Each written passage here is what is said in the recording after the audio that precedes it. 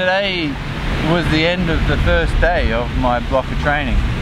I've got about six days, long days, and then I'll uh, spend a couple of weeks to recover because my body's pretty tired right now. And uh, yeah, it needs to recover before I can do a lot more. So. Okay.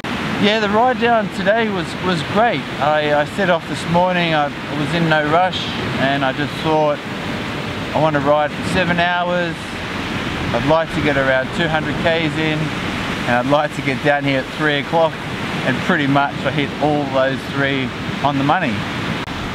The ride went with no hassle, it was, really nice. The swim today was nice actually. I was uh, a little bit concerned of the water temperature being around 16 degrees, even in a wetsuit and with gloves on. Uh, should be fine, but for me, as I said, I don't like the cold. I'm always concerned, but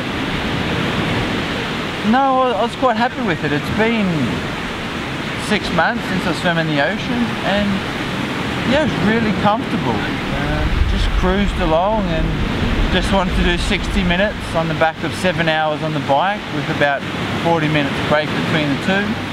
So it was a nice training day and yeah, I, dare I say it, I enjoyed the swim.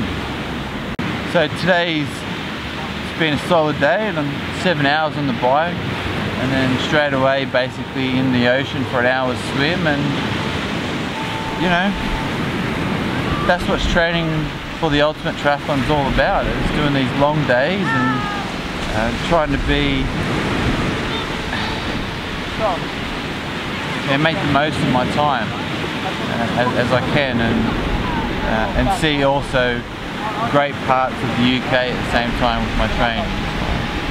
Morocco to Monaco, here I come.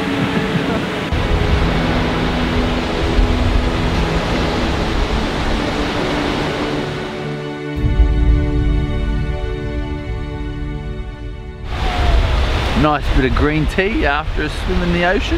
Not bad. It's a good brew.